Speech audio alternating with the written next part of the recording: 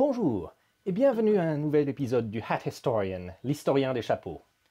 Dans cette vidéo, je vais parler d'une coiffe qui est vue de par le monde comme emblématique de la France. Le béret.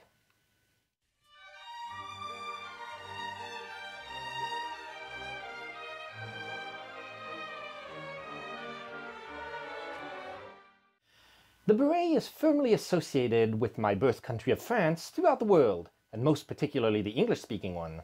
Just about every caricature of a Frenchman include a beret, often along with a baguette and a striped shirt, and it is true that it was once very popular and widespread throughout the country.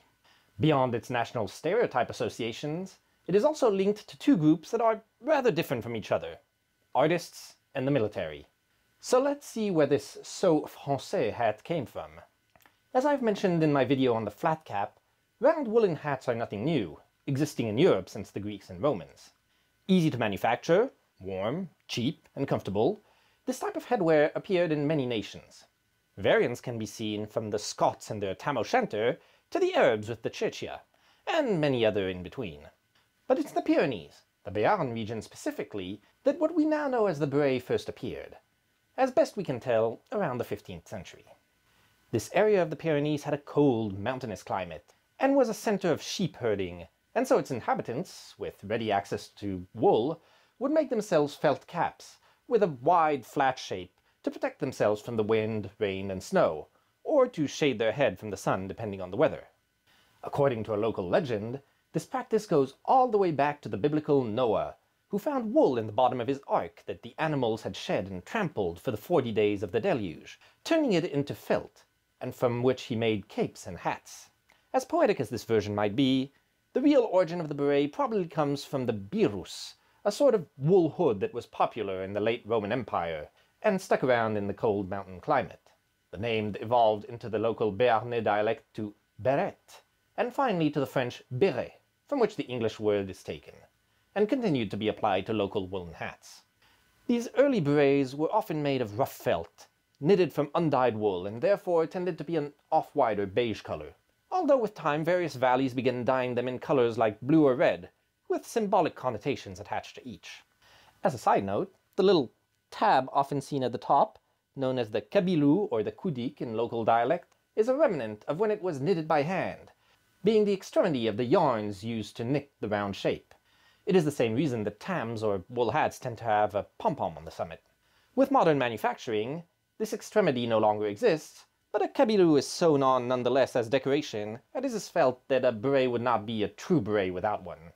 The hat was very popular amongst shepherds throughout Béarn, and around the 17th century, artisanal factories established in the vicinity of Oloron-Sainte-Marie began manufacturing large numbers of berets, which were sold to surrounding regions such as the Landes, northern Spain, and the Basque country, whose sailors were renowned throughout the world. But despite sometimes being known in France as the Béret Basque, due to Emperor Napoleon III mistakenly believing they were from there, and all of his advisors being too polite to correct him, its true origin is the Béarn, and while popular throughout the region and its neighbors, it remained localized in southwestern France for a long time. It is only in the 19th century that the beret began to spread to the rest of the country. There are two main reasons for this spread, both linked to industrialization. Industrial manufacturers of berets made it a cheap product, affordable to even those who did not own sheep and couldn't make them themselves, and therefore could not have been able to acquire one before. This made it even more popular than before in the region. Furthermore, the Industrial Revolution drove many people from the countryside to the cities, and from the provinces to the capital. This brought the beret, originally a rural hat, to urban centers, and many Basques, Landais, Béarnais emigrated to Paris, where they made it popular. From there the style spread around the country. Much like the flat cap in England, the beret acquired a sort of working-class connotation, being cheap, easy to roll into one's pocket when not working and not wearing it, and comfortable. Its popularity grew all over France throughout the 19th century, and it went from being a regional symbol to a national one. By now usually black or very dark blue, the beret became the headgear of choice of all those who had little disposable income but worked in cold conditions factory and construction workers, small artisans, and the like. It is also during that time that it acquired its association with artists. Some say that artists adopted it to try and emulate Renaissance artists like Rembrandt, who were sometimes depicting wearing a beret-like cap. But more realistically, there is the fact that however renowned the Monets, Cézannes, and Chagalls might be today, in their own time they were hardly wealthy and often worked in poorly heated studios. These starving artists therefore had a tendency to choose the cheap hat of the day, the beret. Subsequently, once their reputation was established, their followers imitated the masters and wore berets themselves, and the stereotype came to be. For a long time a man's hat, the beret was adopted by women in the late 20s and 30s, with feminine fashion of the day eschewing some old traditions, helped by the many actresses and style icons of the era. The beret continued to be a popular item of wear in Europe throughout World War II, during which it strongly became associated with the French resistance. Resistance members wore berets because it was considered inconspicuous in France at the time rather than any patriotic reasons. Interestingly, this is said to have led another group to adopting it as a symbolic accessory, the Black Panther Party in the 1960s United States. Leader Bobby Seale purportedly came up with the idea after seeing French resistance members wear it in a movie, and, liking its distinctive and slightly revolutionary look, thought it would fit well with the appearance he wanted. Much more rarely worn today in everyday life, there is a group of people for whom the beret is a common piece of headgear and where it is adopted almost universally throughout the world. The military. The beret has a lot of attributes that make it attractive to the military. It is cheap to make, can be manufactured in many colors to differentiate branches, and can be rolled up and stored in a pocket without damage when not worn. A sort of beret was used by the Spanish in the early days of the Carlist Wars, influenced by the Basques' hats, and the tam o' shanter was part of the uniforms of the British Army's Scottish regiments. But the first to make a modern beret their standard piece of headwear were the French chasseurs alpins, the army's mountain troops, who wore a very wide alpine-inspired beret. It is said it was supposed to be wide enough so that they could warm their feet in it if necessary. Then, with the introduction of combat helmets and the mechanization of war in World War I, tank units in France, then Britain, and subsequently Germany adopted berets, often black to hide oil stains, it was liked because it took up little space and could be worn with headphones over it. The military beret became very popular with British troops during World War II, where it was adopted by airborne regiments and commando forces.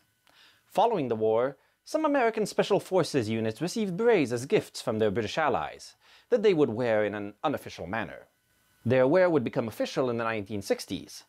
The berets spread throughout the US forces after the Vietnam War, as a morale boost for troops that were still suffering from a divisive conflict. The French, who had only used it for specialized units before, adopted it for all the troops for similar reasons after the Algerian War.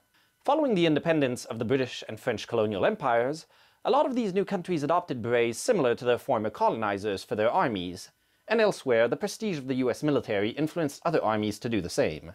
The beret is by far the most common military hat today throughout the armies of the world, and can be found in almost every color imaginable, sometimes with countries imitating each other, such as green for elite units like the British Army Commandos, the US Army Green Berets, or the French Foreign Legion, or maroon for paratroopers. Often worn pulled to the right with the insignia over the left eye, either tied on the head in the British style or slightly more voluminous in the American style, the berets is sometimes worn pulled to the left with the insignia over the right eye, particularly in France and the countries it influenced. Russia, and the countries it influenced, tend to have their insignia centered on the forehead and the hat pulled to one side or the other depending on the occasion. Then there's whatever the Israelis are doing here. The side to which it's pulled is said for the British to have originated in the Tam O'Shanter's wear, where it was pulled to the right to keep it out of the way of rifles when shouldering arms, in the same way as the slouch hat I've previously mentioned. And for the French, who had very floppy berets, they pulled it to the left so that it would free up the right eye that was used to aim. Civilian wear of the beret has declined sharply, as it has for all hats, since the 1960s. It was seen as old-fashioned, unsophisticated, only worn by the elderly, just no longer fashionable. Despite this, it still has a fairly strong presence in southwestern France, its place of origin, where it enjoys a strong cultural attachment, and it is often worn during local cultural events or celebrations, and is still seen on the heads of a few diehards, particularly in the countryside. In the rest of France, it endures on the heads of fashionable urban women in cold weather, or on some older people and traditionalists. And of course, it can be found in just about any souvenir shop in Paris, because tourists still associate it with France, though those versions are often poor in quality. And as I said earlier, it is also a handy indicator that a person is French in cartoons or caricatures. This image of the beret and striped shirt wearing Frenchman, sort of what I'm wearing now, comes from England. In the late 19th and early 20th centuries, Breton onion farmers would often sail to England to sell their products, often traveling door to door. As poor rural folk of the time, they would often be wearing berets for the reasons I explained earlier, and they would often wear the traditional Breton marinière, a striped shirt. The average English townsperson of the time, for whom this might be the only interaction with an actual French person, assumed that's how all French dressed, and the stereotype was born. It spread to the rest of the English-speaking world, and after World War II, to the rest of the world, and endures to this day, even though very few French people actually dress this way in day-to-day -day life. Nonetheless, the beret still serves, outside its military life, as a potent and enduring symbol of France throughout the world. So I hope you found this video interesting and will join me again soon for another hat. Until then, I tip my hat to you.